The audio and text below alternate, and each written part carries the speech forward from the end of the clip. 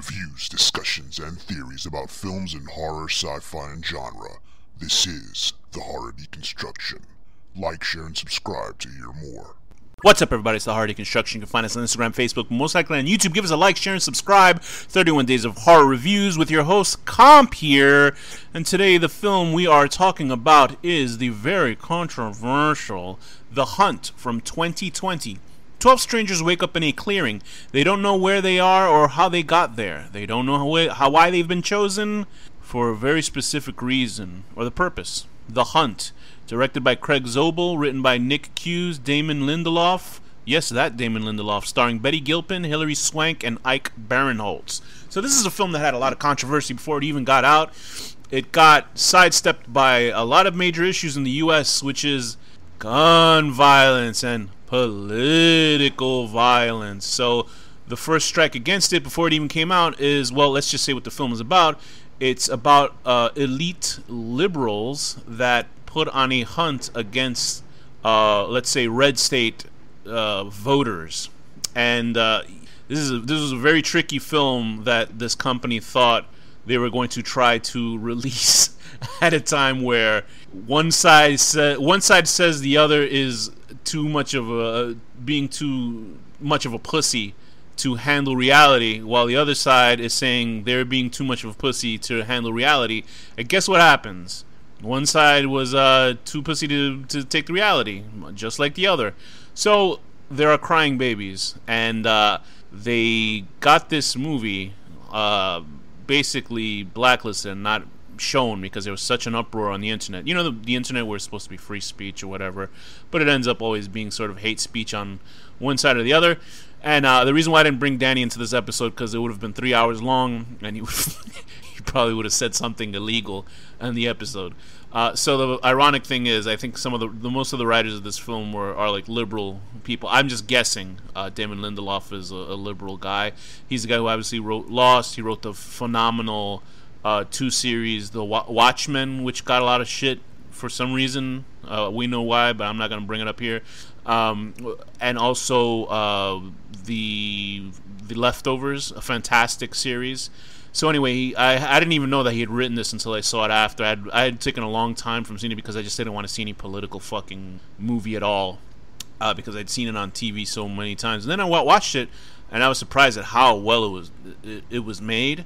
Uh, that's what the reviews I had always heard. Uh, so apparently, this is a film where uh, both sides politically are are looked at as being aggressors on this type in this type of film, which is whatever you're gonna either side you're gonna be on, you're gonna be whatever. That's not right, uh, etc. et. So uh, it has the great thing about this film is, and and I feel it's a, sh- a super fucking shame why this was this movie was ignored and kind of buried because of all the political horse shit and obviously the mass shootings in the United States also made this an issue for people watching it because there was mass shootings like every other week in the United States and one of the big issues, oh, one of the, the, the main things that I liked, I loved about this film, the main thing I liked about this film was Betty Gilpin, and Betty Gilpin was in the series Glow, which unceremoniously because of the plague got canceled because they could not, you know, keep all those contract players for so long off the set.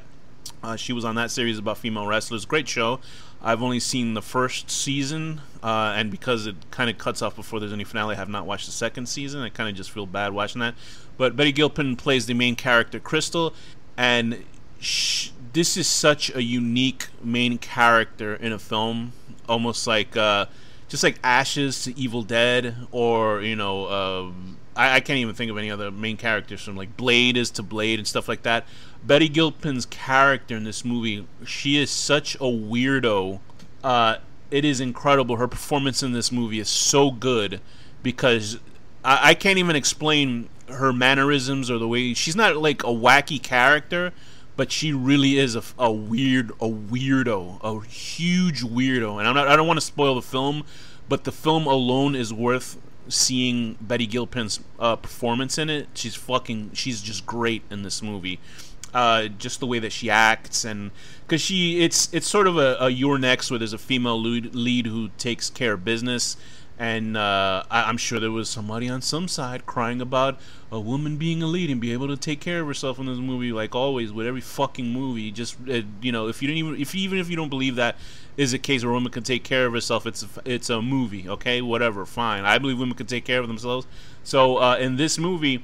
She uh, is, an, uh, we don't know about that later, but she was like sort of ex-military. That's the only spoiler I'm really going to give for, for this film and uh, she is uh, she is just so weird. She's such a weirdo, and the violence is fantastic. We get this great opening with some semi-protagonists, including Ike Barinholtz, if you remember him from Mad TV, Emma Roberts. Uh, I always like to see Emma Roberts. Emma Roberts is underutilized actress or actor, whoever you want to say it. Um, she's obviously the niece of uh, Julia Roberts. I believe she's the daughter of Eric Roberts. I'm not sure. I can't be sure. She's been in a couple films. She obviously she was in uh, movies uh, or TV series like Scream Queens, obviously an American Horror Story where they they waste her all the time, pretty much. Um, but she uh, there's a horror movie that she was in. Let me see what she was. It was called. Um, it's about evilness and and boiler rooms. Blackcoat's Daughter. Go watch that movie. Fantastic movie with Emma Robertson. And there's a scene where she laughs, where it's like one of the most chilling sequences I've ever seen. But the movie starts out with this.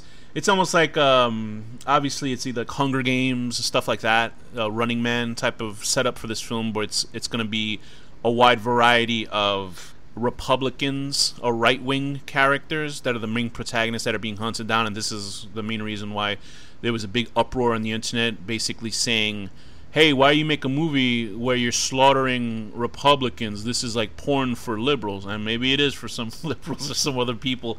But uh, you would think if you're making your character, if you're making Republicans the the main characters that are victimized and they overtake the liberal bad guys, isn't that a good thing to see? They, are they afraid that people are going to watch movies? that are going to start hunting uh, Republicans down or something. I, I don't get it. Whatever. That's just sometimes there's an audience where they're like, "Oh, you can't you can't uh, put this in a film because then people will do it." And then on the other same side, they'll be like, "Oh, wait a minute." Uh, why are you trying to censor this movie? This is America. You should be able to watch this. Uh, why are you making guns look bad? So it's like this movie is a walking sort of political argument. Um, whatever. It's a fucking movie. I get it. I, I understand there's crazy people that watch films and then they do crazy, stupid shit uh, and I, I wish that wasn't the case. But people are fucking stupid. People are stupid. I have no hope in humanity. They're all dumb. Everybody's stupid. I hate, I hate everybody. But with this film, I enjoyed it. Uh, Hilary Swank is the big bad in this film, and she does a great sort of antagonistic character. I have I am sort of ambivalent on Hilary Swank. I think she's a good actor, but as in her in movies, I haven't really seen. I haven't. I know the ending of Million Dollar Baby, so I don't even want to watch that because that's fucking depressing. But uh, I remember seeing her in this really bad movie called The Black Dahlia, and she she was like a femme fatale in that. She was great in that too. So she's really good in this, but in a more comical way. And it's funny how you sort of see both sides of an argument in this because it, it ends up being the point of the movie is that it's not even a political reason for what happens in the movie, which is even funnier.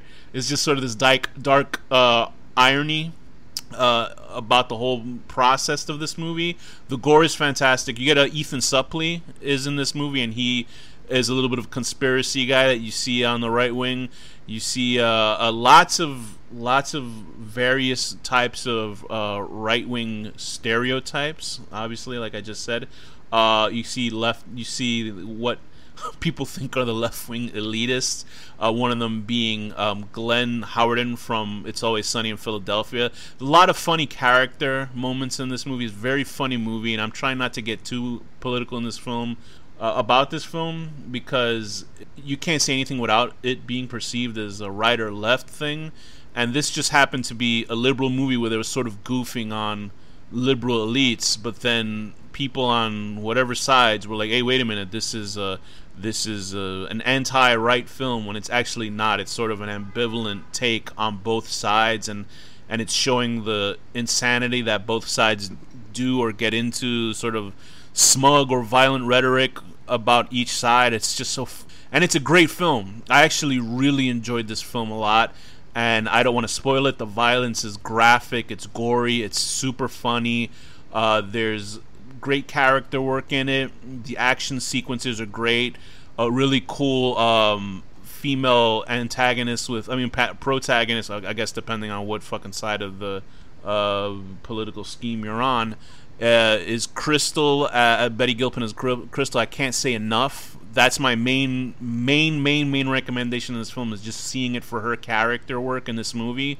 Um, it's short, it's sweet, it gets its job done. It's all a misunderstanding, but it's so fucking good. And I really, really stress that you should watch this film. I, I think anybody can see it, right or left, and they would enjoy it if they got stop listening to the fucking whichever media side you're on, which is uh, biased, both sides. Um, but anyway, I would give this movie a total uh, an eight, seven and a half, or to seven and a half out of ten. Uh, getting into a car with a guy who has sold you out to the elites. And with that, this has been the Horror Deconstruction. Thanks for listening.